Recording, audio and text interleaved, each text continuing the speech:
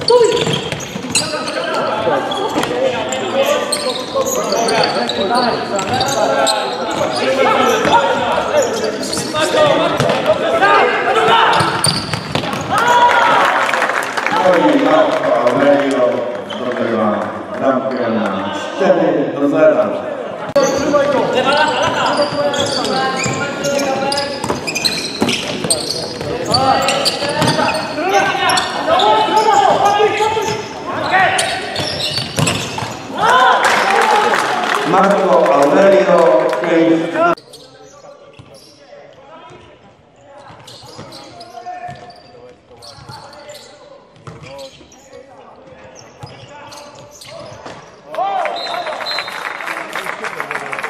i Marco Aurelio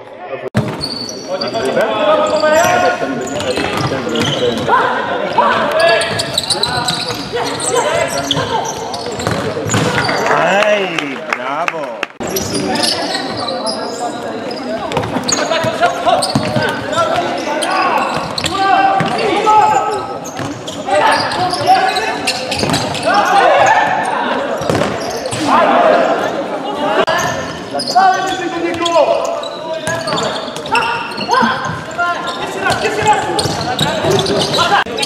음, 내가 우리가